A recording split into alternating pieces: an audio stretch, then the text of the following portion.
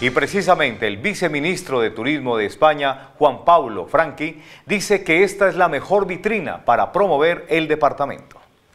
Bueno, ha sido una reunión muy buena, muy amena. Hemos dejado los puntos sobre la mesa y si Dios quiere, pues Plus Ultra posiblemente antes de final de año empiece a operar a Colombia.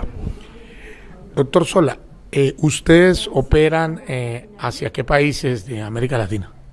Nosotros operamos desde a Perú con tres frecuencias semanales, operamos a Venezuela con cuatro frecuencias semanales y a partir de esta primavera próxima empezamos a volar a Quito, Guayaquil, es decir, a Ecuador, también con tres frecuencias semanales. ¿Qué esperan ustedes frente a eh, la posibilidad de volar a Colombia?